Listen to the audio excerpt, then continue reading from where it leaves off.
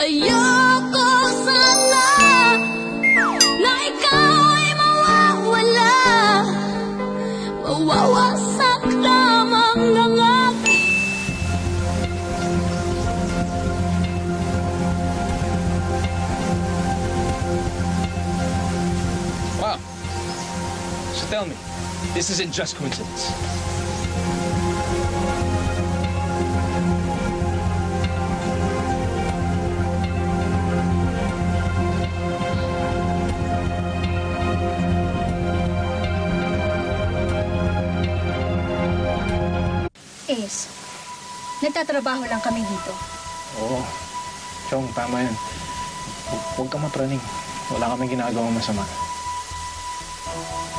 Makakatulong sa'yo kung pagtitiwalaan mo yung asawa mo kasi talaga nagtatrabaho lang kami. Ace! Sige. Ace, ano, Ano? ba? So obviously he likes you.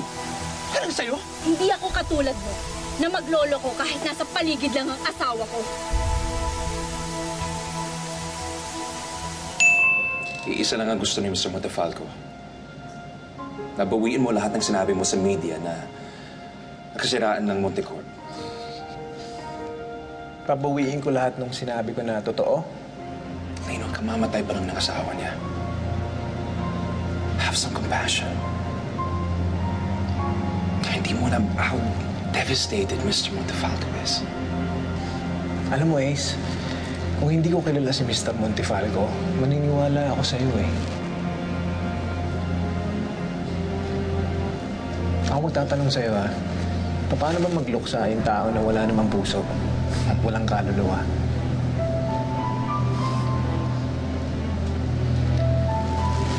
Alam mo, dapat gawin mo bumalik ka sa asawa mo. Mas kailangan ka niya. Kesa iniintindi mo tong problema ng kumpanya ninyo.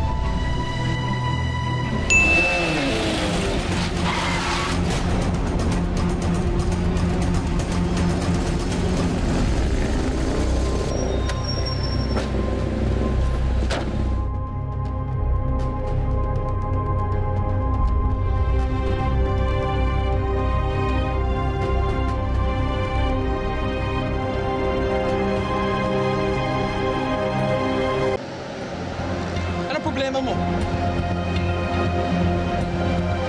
Problema mo? Dino! Ace, Ace, tama na! Dino! Ha? Tama na, tama na! Ganyan umarap! Tama na! Kumo, di na papadala ka ng tao sa bahay! Ha? Ano? Sinasabi mo? Chong! Papadala ka ng papadala ng tao sa bahay? Punta ulit sa amin, lulumpuin kita! Gusto mo? Uwi ka sa asawa mo lumpo! Kumo!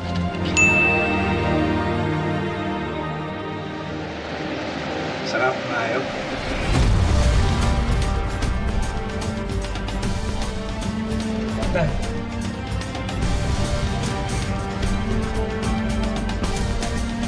Kala ko hindi mo kilala.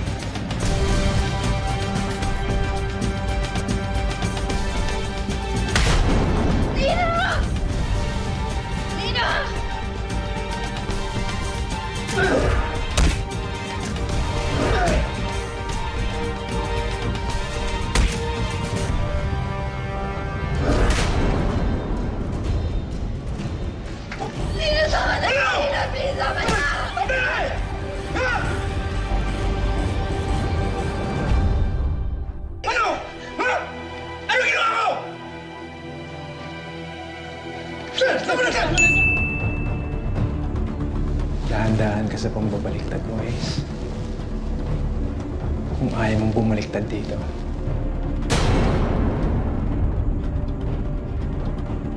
Ngayon, kung gusto mong tapusin na natin to dito, lock mo yung pinto. Tara. Gagawin mo, ha? Magbasagan mo ka ako.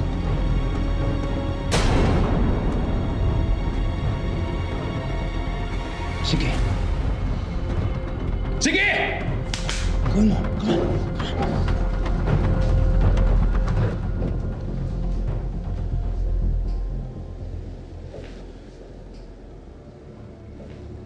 hope you gentlemen are enjoying the party.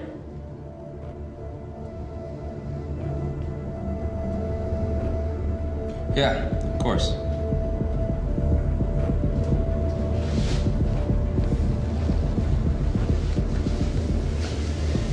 Sa susunod na magkikita tayo, ilayo mo yung mukha mo sa akin, ha? Sayang itsura mo. Nakakalit! not in me.